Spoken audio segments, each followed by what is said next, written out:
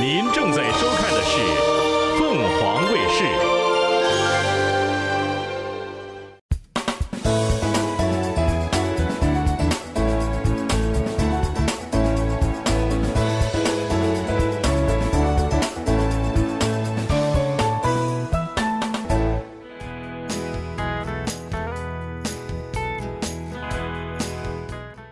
我们大家都会报税，而很多的民众也都有自己的退休账户。但如何将这二者结合在一起呢？就是如何利用 ARA 去替我们省税节税呢？那我们就听专家来给我们好好去分析一下吧。啊，其实二零一七年啊四月十七号最后报税的这个截止日期呢，刚刚过不久。那很多朋友呢已经开设了这个 IRA 账户。那现在呢，我们就来谈一下到底什么是 IRA。那 IRA 的这种分类到底有多少种？那 IRA 呢，实际上是国税局给我们美国人民的一个最好的礼物，那就是每一个人都有机会从这个很年轻的时候就开始这个开设 individual retirement account，也就是说个人的退休金账户。那 IRA 账户呢，分为两类，一类呢叫做 traditional IRA，一类呢叫 Roth IRA。为什么有一类是 traditional IRA 呢？也就是说，我们开这个 IRA 的目的就是为了减少我们今年的报税的这个数额。那就是说，这种 IRA 呢是可以抵税的。那五十岁以下呢是五千五百一个人。那如果是在二零一七年十二月三十一号以前满了五十岁的这样的客人呢，开的账户可以再加一千块钱，是六千五。那 Roth IRA 呢是。就是呃，这个不抵税的，那它的这个非少，也就是说，呃，这个收入的限额呢会更高一些。那这两种 IRA 账户的区别就在于，一个可以现在就抵税，一个呢现在不能抵税。那一个呢，如果现在抵了税，将来拿出来的时候连本带利都要交税。那那个现在没有抵税的 Roth IRA 呢，现在虽然没有抵税。但是将来拿出来的时候，当然你符合条件的情况下，连本带利你都不用交税。所以到底是做 traditional IRA 还是做 Roth IRA，要根据你自身的财务情况来决定。因为可能有的人现在报税比较高，那他迫切的希望要抵税，那就做 traditional IRA。那有的人呢，现在收入并不是那么高，将来可能更高。那退休的时候收入可能会更多，当然这种人会比较少一些。但你为了将来把钱拿出来的时候是全面抵税，连本带利都要抵税，那么这种情况下呢，可能你就要开 Roth IRA。那这是对于 individual，我们在开这个 IRA 的时候，有一个特别要注意的地方。好多朋友呢就说，哦，我公司已经给了我这个 401k 了，或者我有其他的退休金账户了，那我就不能再开这个 IRA。其实这个是不对的。IRA 什么样的人开呢？只要你有赚钱，只要你有收入。二 income 记得一定是赚来的钱，你就可以开，不管你赚多少，你都可以开。那如果是夫妻两个呢？只要你的 spouse 有赚钱，那另外一个人呢也可以开。当然，如果你的这个收入完全是从投资收入来的，那就不一定可以开。所以，这个开 IRA 账户呢，是指的是你必须要有收入的情况下。但是刚才我讲到，很多朋友呢，因为公司已经有 401k 或者其他的退休金账户，他以为自己就不能开了。实际上，国税局呢有个规定，如果是夫妻联合报税的话，那即便你公司给了你这个其他的啊，类似于 401k 这样一些退休金账户，两个人的收入只要没有超过十万零一千块钱，你还可以复利抵的，也就是说还可以全抵。那如果是单个人自己报税的呢？那二零一八年是只要你自己一个人的收入没有超过六万四，你还可以全部抵税。所以一定要这个改变这个错误的这个想法，就是我公司已经有 four 啊 four one k 了，那我就不能开 IRA 账户，这个想法是错的。那这是第一啊，我们今天啊希望重点讲到的。在下一部分呢，我也想提一下 SEP IRA。那这个 SEP IRA 呢，就是这种简易式的这个啊员工退休金计划。那么这种退休金计划，它最适合的地方就是自雇主，也就是说 self employee。那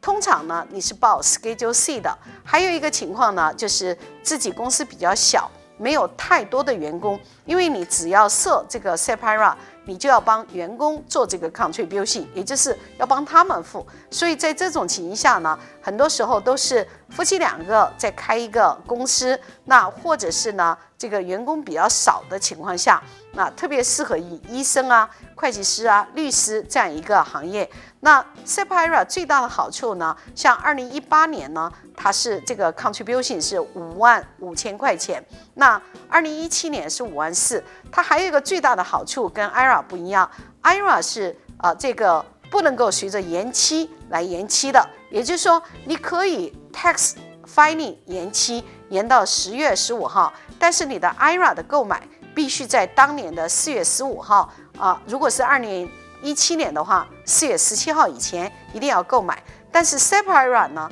你可以延期，也就是说，如果你延到十月十五号，那你就可以延到十月十五号之前购买就可以了。所以这个 IRA 也好，SEPA 也好，它都是这个我们在这个做退休规划当中非常重要的一个工具。因为根据美国现在啊这个啊就是统计来看，或者说对这个 Social Security 的这个。呃，研究来看，大家认为呢，到二零啊三三几年的时候，那 Social Security 可能会就所收进来的钱没有办法支付美国的退休人员的需求，所以在这种情况下，那我们每一个客人呢，都应该要有自己的这个呃这个退休规划。美国的退休规划。绝大部分人会依靠政府的 Social Security。第二个方面呢，依靠各个公司，也就是说啊，企业主来提供这些退休金计划。第三个部分呢，就是依靠这个我们自己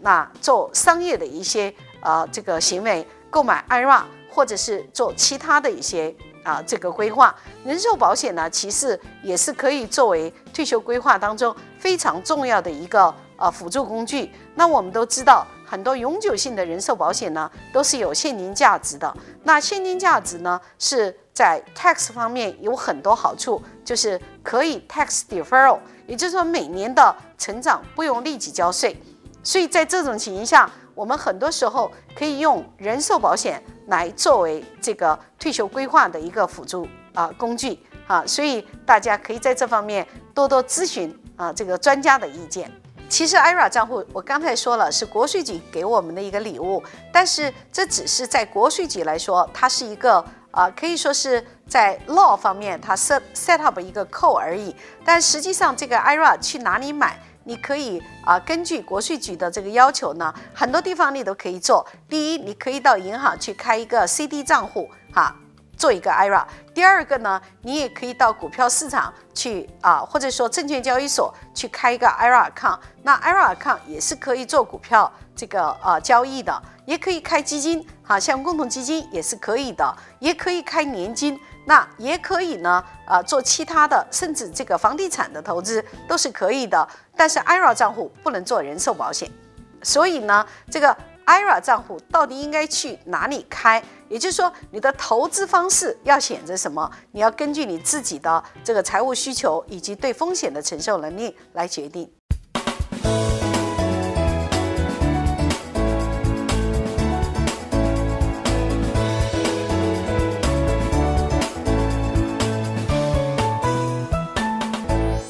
我们不停地谈到在房地产上的留置权，就是令，就是您的房产呀，在您可能欠钱的时候，第三方会在您的房产上放一个留置权。那这个时候啊，当这栋房产被拍卖的时候，不同的另一方的留置权是否有不同的顺序，可以拿取他们不同的债权呢？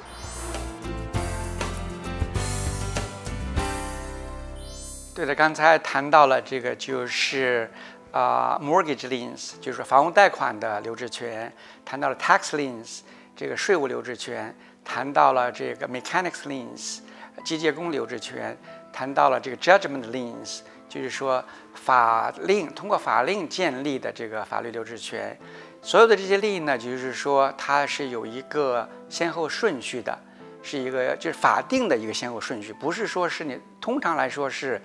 谁的这个 lien 在这个房子上边最早建立，谁就有优先权，这是一个一般原则。但这个一般原则呢，也是被这个法律呢就是调整了，就是说改变了。那法律是怎么规定的呢？就是说，当然这个 Uncle Sam，Sam 大叔是优先了，对吧？你欠这个政府的这个税，这个 lien，这个就是说是要最先要付掉的。比如说你欠这个政府十万美金的这个税务的这个令你的房子，比如说是这个只有二十万，但上面已经有十万，这个就是说有贷款。所以说拍下来只能卖到这个十万美金的话，你十万美金必须全部先付这个就是政府的。对，假如你的房子值二十万，那就是你这个房子上面有十五万美金的这个贷款，卖掉了二十万，那也得先还十万美金，从中拿出十万美金先还这个政府。那这样的话呢，你本来不是有十五万美金的这个就是说贷款吗？那你这个银行只能亏欠五万美金，银银行最多只能拿到十万，因为政府优先嘛，对吧？你政府必须人欠人家十万，一分钱都不能少，还要加利息，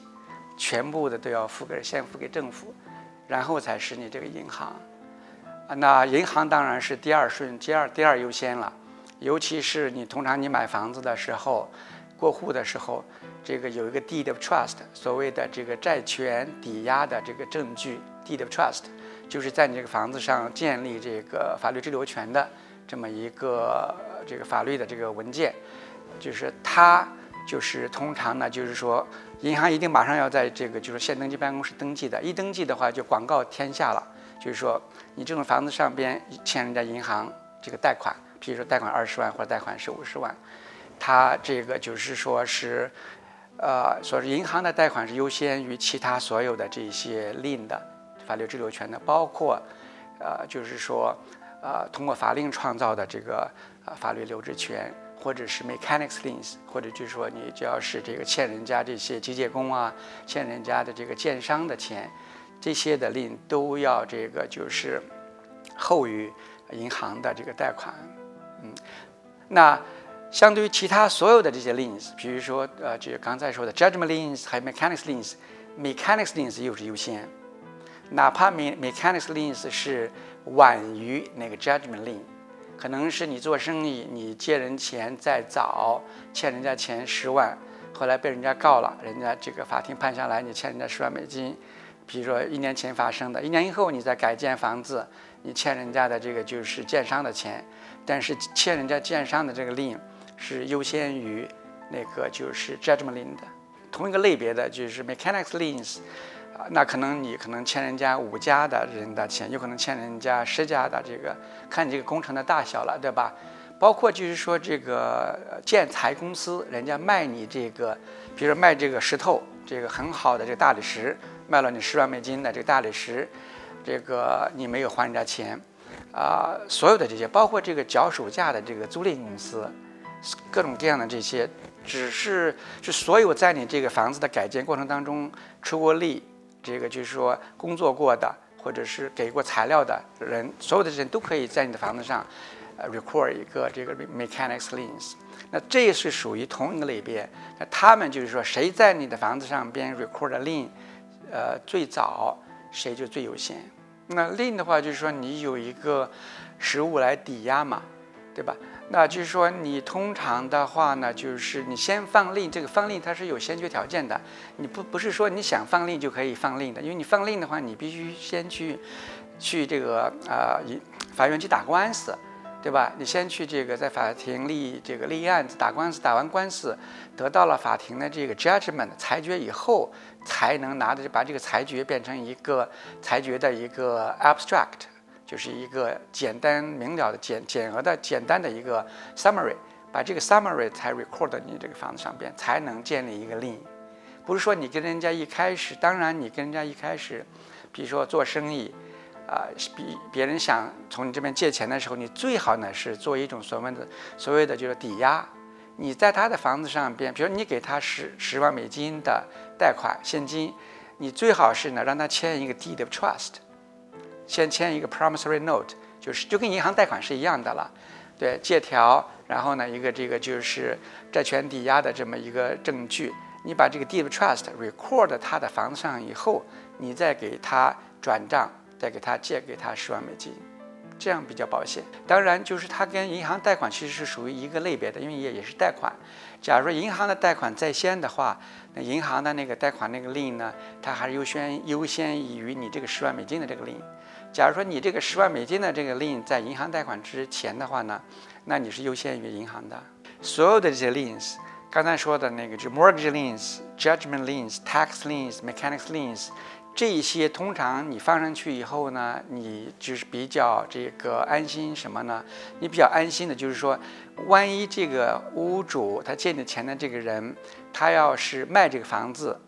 他要优先要付你这些 lien 的嘛，对不对？他要把，比如把银行贷款先要付掉，把这个 mechanics liens 要先要付掉。假如说还有多余的钱的话，对不对？就说他没有在卖房子之前。你要是想要钱的话，他不还你钱，你是可以主动拍卖他的房子的。你可以主动拍卖他的房子的。比如这个，呃，mortgage liens，mortgage liens 里里边呢，它有一个就 deed of trust，它里边有个 power of sale，就说它本身的那个就是呃债权抵押的那个就是呃这个地的这个证据上边，它就告诉你，你有拍卖他这个房子的权利。假如他不还你钱的话，对。那拍卖的话呢，你就通常你要先给人家这个屋主要寄一个所谓的，啊，notice of default and election to sell，就说你欠我钱了，你就是 default 了，就说你没有还我钱，那我要准备要卖你的房子了，我就选择要卖你的房子了。这一个 notice 给过人家以后，必须给人家一百二十天的时间，让人家去筹集资金，让人家还你钱。一百二十天之内，人家还了你钱的话，你不能拍人拍卖人家的房子。一百二十天内他还没还你房子的话呢，这个时候你就可以要需要登报。你要登报的时候，要登报的是什么东西呢？建筑于报端的，就是你刚才我们说的那个 notice of default and election to sell，就是你欠我钱了，你没有还我钱，我准备要卖你房子了。那登报必须登三十天，在报纸上要连续登四个星期。我刚才说过了，你在登记完的这个 lien 的九十天以内，你必须去法院去 file 一个 petition，呃，，to 这个 foreclose on the lien，对吧？你其实就拿一个法令而已，法庭就是给你下达个法令，你可以去拍卖他的房子了。对，这个是比程序比较简单一些。同样的，就是说 judgment lien 也是这样子的，啊，那。就比你就是别人欠你钱，你去告他了，告赢了，你拿到了一个裁决，然后呢，你下一步，你拿到了裁决以后，登记完以后，你就有一个叫做所谓的 writ of execution，execution 就是执行，就执行令，就等于拍卖令。那执行它有两种执行的方式，一种就是说拍卖他的房子，对。那另一种执行就是说，你可以，假如说别人欠你的钱，你的你也是可以去。Garnish 他的 wages，就说这个人假如说有一个工作，你可以拿到一个法令，你把这个法令可以直接的去送达到给这一个欠你钱的人的雇主那边，每个月从他的这个工资里边扣，叫做 garnishing 呃 wages。另外一种也叫做 levy levy 的话你可以 levy 他的 account bank account，就他这个你知道这个人大概是在银行里肯定有可能有存款。你可以把这个 notice of levy，就是所谓的，也是一种就是征收令，就从他的银行拿钱的这么一个法令，你把这个法令去送给银行。咱们先还是拿这个 mortgage lien 可以先做一个例子，就是银行贷款。比如说是在这个市场下降的时候，次贷危机那个时候，你这个房子是一百万，本身买买价一百万，银行贷款是八十万，八十万的话呢，这个。啊，房价一下子降到了六十万了，那就是你把这个房子拍卖掉，你最多拿回来的也只有六十万，对不对？你拿回来八十万，那你你你这个屋主还欠你二十万，那欠你二十万的话呢，你只有自己就就要做银行做一个决定，你到底是说是舍弃二十万先拿回来六十万呢，还是你等现在不要拍卖了，等到市场上升以后，它的这个房子的净值增增加了，增加到了八十万或者一百万了。增加到八十万的话，你一拍卖掉的话呢，那就是你就可以把你的全部就会拿回来了。这个是一个 business decision，就是说你这个银行呢，你要做一个生意上面的一个决定，你到底是要拍卖还是不拍卖，是现在拍卖还是等着市场上升以后，这个房价上涨以后，这个净值有了以后，你再这个拍卖。那另外一种方式就是说，这个房子上边它可能有好几个 liens，对吧？本身就有一个贷款的一个 lien。还有一个 mechanics lien，还是拿这个刚才这个房子，比如说这个房子呢是它是一百万的价值，一百万价值它上面有八十万的这个贷款，还有这个十万美金的你的这个 mechanics liens，那你作为就是说你是个建商，你这个时候要做一个决定，就是说你要不要拍卖这个房子，比如现在这个房子本来是一百万买的，那这个房子现在只掉价已经掉到了八十万了，它上面贷款就有八十万。他再欠你十万，那你是人家这个银行的这个贷款是优先于你 mechanics lien 的，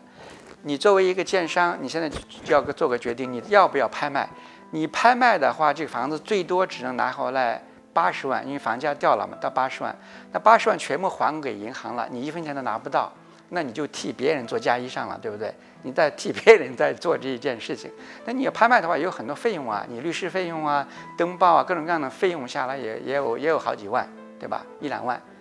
那所以说，假如房子上面只有八十万的这个净值的话呢，那你就算了，你等一等吧，等到整整这个涨价以后你再拍卖。